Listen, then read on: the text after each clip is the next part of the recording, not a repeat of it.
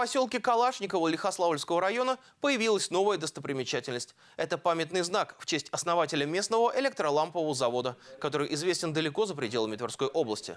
Владимирский купец Николай Добровольский 6 августа 1886 года подал прошение губернатору о разрешении построить стеклянный завод вблизи деревни Калашникова. Через год было получено согласие.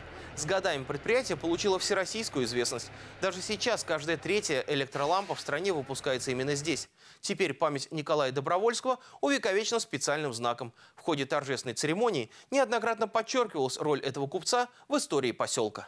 Трудно себе представить, что бы было, если бы Николай Алексеевич не решил построить здесь завод.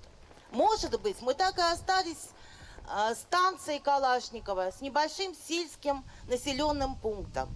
А сейчас, посмотрите, нас четыре с половиной тысячи человек.